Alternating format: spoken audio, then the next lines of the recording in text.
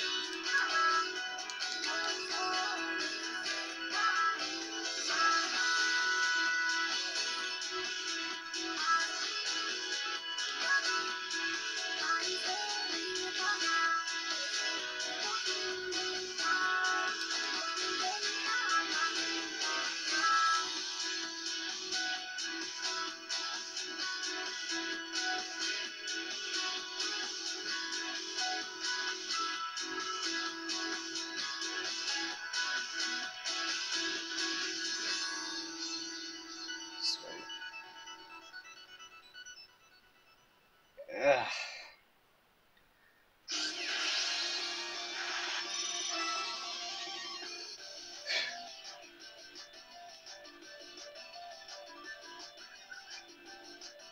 Lucky his first try. Not in a good mood.